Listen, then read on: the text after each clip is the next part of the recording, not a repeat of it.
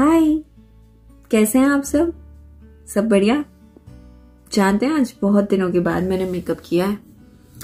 और मेकअप करते करते मुझे ऐसा पता चला कि मैं मेकअप करना भूल गई हूँ। पता है क्यों? क्योंकि मुझे इतनी आदत सी हो गई थी यार, बिना मेकअप के रहने की और नेचुरल स्किन में रहने की, कि इतना फुल फ्लेज मेकअप मैंने बहुत अरसों के बाद किया है।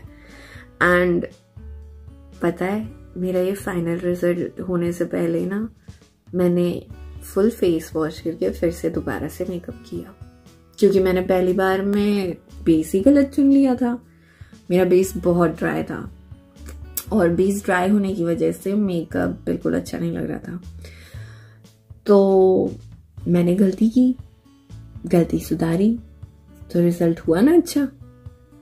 तो फिर हम आम ज़िंदगी में रोज़ाना क्यों भूल जाते हैं कि हम गलतियों का बिटारा है? हम परफेक्ट नहीं हैं और ना कभी होंगे।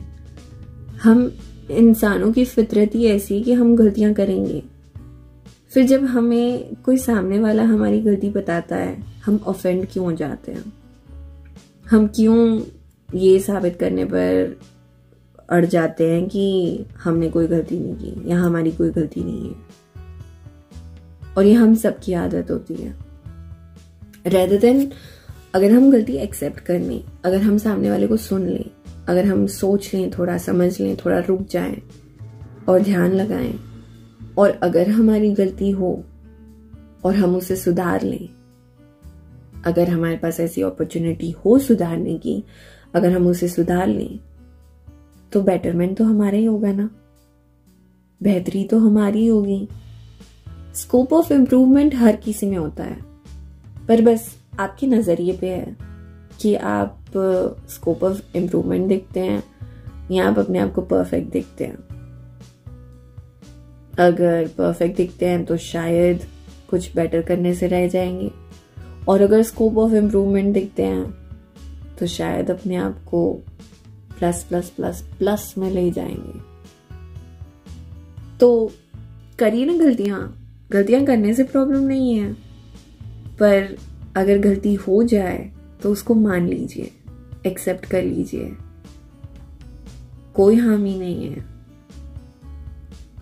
एंड बस ये याद रखना कि ज़िंदगी हमेशा दूसरे मौके नहीं देती। उन गलतियों को दोहराना मत। और कई बार कुछ गलतियों के सॉल्यूशंस नहीं होते। कभी ज़िंदगी मौका नहीं देती आपको हमेशा कि आप गलतियों को सुधार सकें।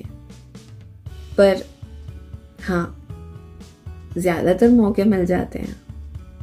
तो करिए गलतियाँ पर ध्यान भी दीजिए। क्या पता शायद कुछ बेहतर हो जाए। एंड यस yes, मुझे पता है कि ये मेरा बेस्ट लुक नहीं है। इनफैक्ट इस मेकअप को मैं probably four out of ten score दूँगी। बिकॉज़ आई नो कि I can do better and I have done better जब बेटर किया होता है तो कमी पता चल जाती है ना कि कुछ मिसिंग है। कुछ तो ज़रूर मिसिंग है।